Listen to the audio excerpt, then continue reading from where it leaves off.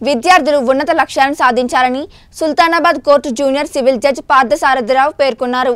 మండల న్యాయ సేవాధికార సంస్థ బార్ అసోసియేషన్ అధ్యక్షుడు వోడ్నాల రవీందర్ ఆధ్వర్యంలో మండలంలోని గర్రెపల్లి మోడల్ హైస్కూల్లో న్యాయ విజ్ఞాన సదస్సు నిర్వహించారు.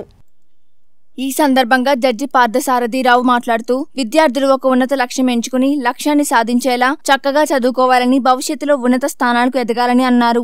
బాల బాలికలు ప్రతి ఒక్కరూ తప్పకుండా చదువుకునేలా భారత ప్రభుత్వం అందరికీ విద్యా హక్కు చట్టం అమలు చేస్తుందని అన్నారు. చదువుతో పాటు క్రీడల్లో రాణించాలని తల్లిదండ్రులను గురువులను గౌరవిస్తూ విద్యను అభ్యసించాలని విద్యార్థులు చట్టాల గురించి తెలుసుకోవాలని పేర్కొన్నారు.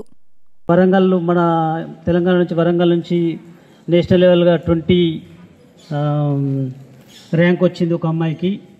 ముఖ్యంగా అమ్మాయిలు మాత్రం ముందున్నారు ఈ సివిల్ దానిలో.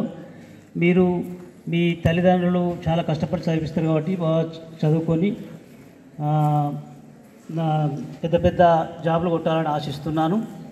ఆశించుకుంటూ మీకు ఇక్కడ ఉన్న విద్యార్థులందరూ ఎక్కువ మంది విలేజ్ నుంచి వచ్చిన వాళ్ళే ఉన్న ఉన్నారు. కాబట్టి మీకు ఒక చిన్న ఒక ప్రామిసర్ నోట్ గురించి చెప్తా. మీ తల్లిదండ్రులకు మీరు వారికి పలు ఈ విధంగా సూచనలు ఇవ్వాలి.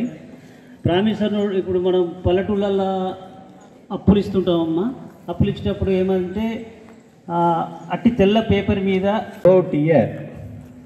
we being educationalist we are supposed to understand first of all the English language which was taught to you each and ever person has to learn at what sort of the expression that is likely to be given by us.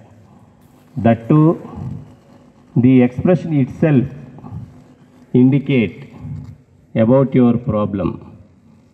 Not at all. If the expression is not in a proper way, the person who is receiving on other side is unable to understand your problem.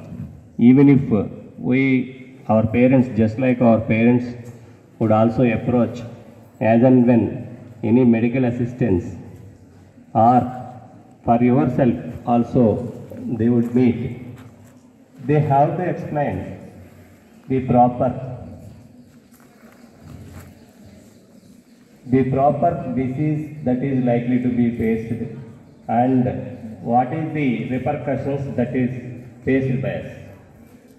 Likewise, we have to inform to the doctor in a proper way, in a perspective way. Otherwise, the doctor may not know about your difficulty.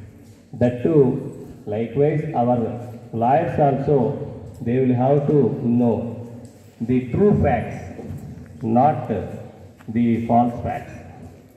If at all we placed any false statements, they will follow and later they would have to face the